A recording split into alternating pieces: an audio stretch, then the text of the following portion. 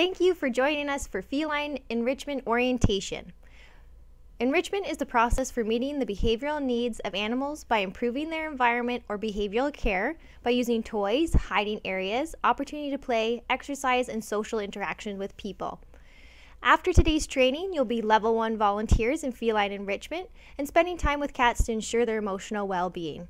Enrichment consists of petting, grooming, talking, and playing with cats both in their cage and the communal room. Approaches to enrichment vary based on the individual needs of the cats. Some cats prefer a more hands on approach, while others prefer a more hands off approach. Cats that come into our shelter are usually nervous and scared. As feline enrichment volunteers, you are here to help them feel comfortable, come out of their shell, show their true personalities, which helps with their adoptions. We will start off with going over body language of the cats. So, cats use their eyes, ears, whiskers, tail, and body posture as a way to communicate to people how they are feeling. They're always communicating with us, but sometimes it can be difficult to understand them unless you're comfortable reading and familiar with their body language.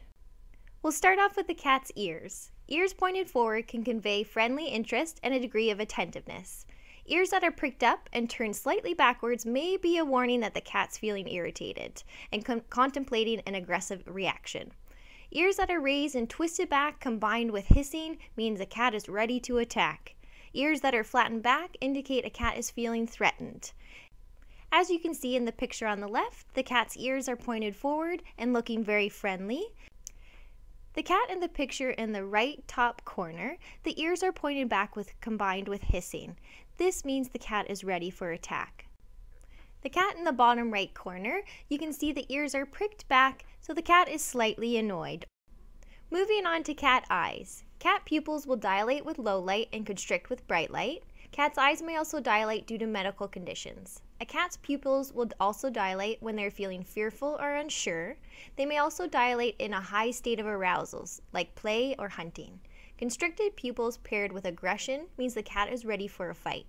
When a cat squints or blinks slowly, sometimes referred to as cat kisses, she is relaxed and happy. But also slowly blinking may mean that they're fearful or stressed. Wide eyes can mean anything from attentiveness to aggression, so it's important to take other body language into consideration. A cat's tail can tell you a lot about how they're feeling.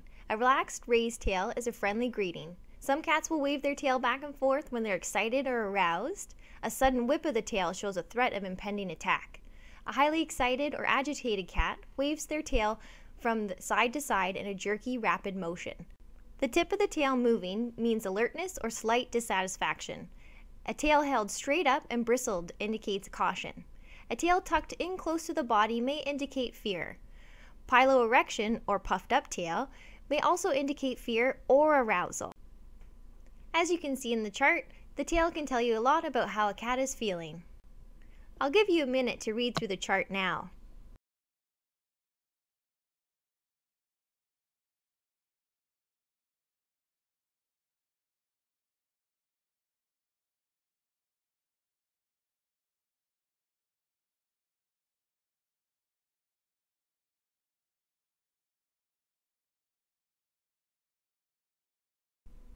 Cats have many different vocalizations. They include purrs and trills, meows, and aggressive vocalizations. All vocalizations you'll hear here in the shelter. I'll give you a minute now to read through the different vocalizations. The most common vocalizations you'll hear in the shelter are purrs, meows, moans, growls, hisses, and yes, cats can spit.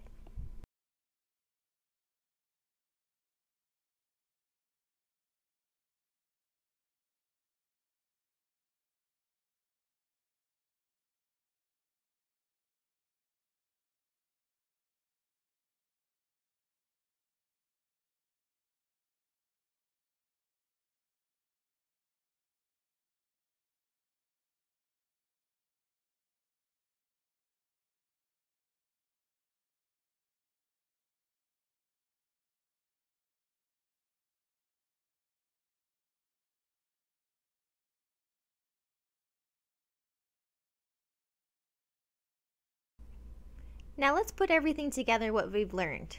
As you can see from this picture, the cat is relaxed and content. The ears are up and pointed forward, the eyes are relaxed, the pupils are normal with the lighting, and the whiskers are also relaxed. As you can see, this cat is very fearful. This is the common type of cat you'll see in the shelter. The ears are flattened back, the body is tense, they're in a crouching position with the tail tucked underneath, the whiskers are drawn towards the face, the eyes are wide, and the pupils are dilated. These are the cats that need you. Work with them, stand and talk with them. Work within their capacity to help bring them out of their shells, which will help with their adoptability. As you can see, this cat is very friendly and playful. The body is relaxed and in a vulnerable position. The eyes are relaxed, the ears are relaxed, and the cat is in a very playful mood. But as we all know, not all cats like belly rubs, so probably using a wand toy would be best. Now we will go over handling the cats. When approaching a new cat in its cage, pay close attention to its body language. Also, avoid direct eye contact as this is a threatening gesture to a cat that doesn't know you.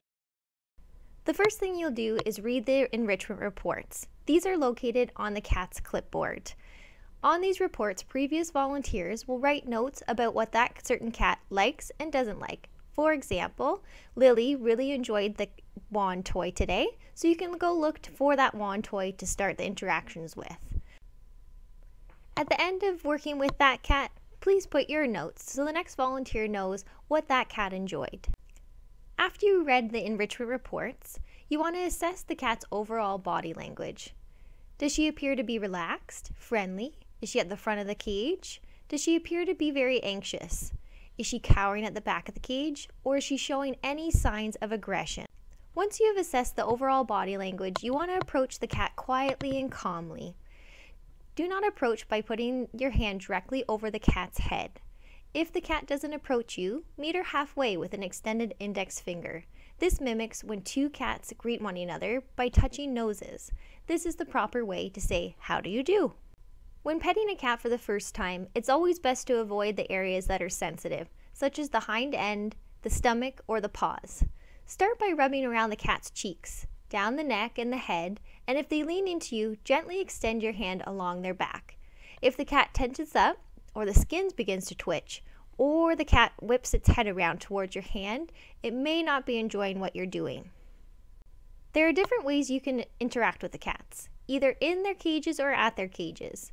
You can play in the cage or in the front of the cage with the door open or shut. You can use the wand toys or laser pointers in either case. Move the wand toy, laser pointer, and other toys so the cat can chase it, pounce on it, bite it, or kick it. If a cat escapes, don't worry, it happens all the time. Come get a staff member and we're happy to help you.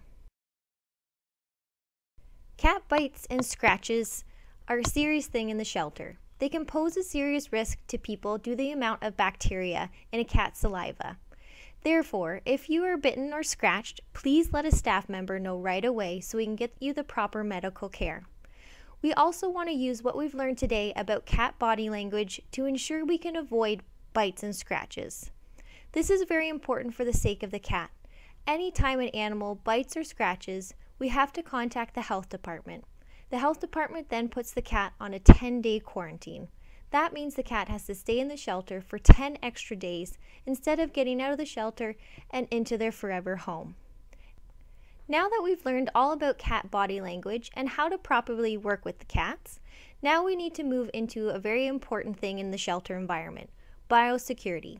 Biosecurity is anyone working closely with multiple animals can carry disease from one to another, from different animals to people.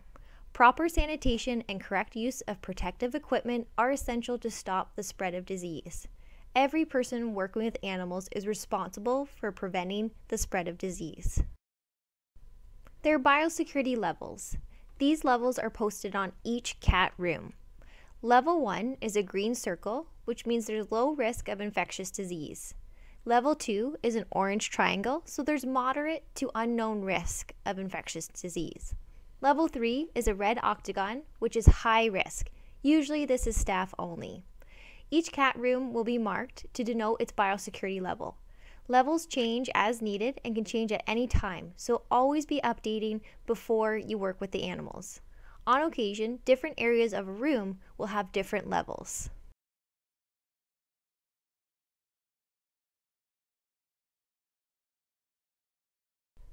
This chart will always be up for you to refer to. If you ever have questions about biosecurity, any of the staff are happy to help.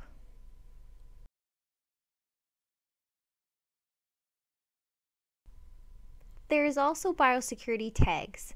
This is different from the biosecurity levels because the tags cover the individual cats.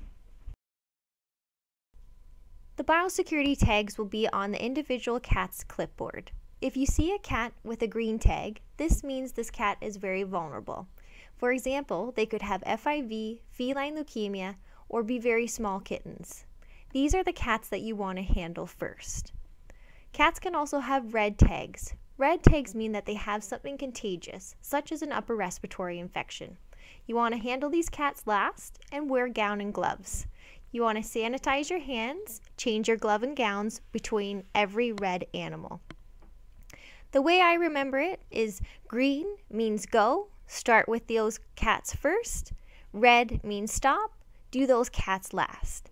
It makes sense. You don't want to go to a contagious cat and then go play with a vulnerable cat. We want to try to minimize the spread of disease in the shelter environment. This concludes the feline enrichment orientation. Now you've learned all about cat body language, behaviors, and biosecurity. But most of all, have fun. You're here to enrich the lives of the cats, make them feel loved and comfortable, make them come out of their shell, which helps with their adoptability. That's what we're here for, to find these cats their new forever home. Thank you very much. We're very excited to have you part of the HSDR team.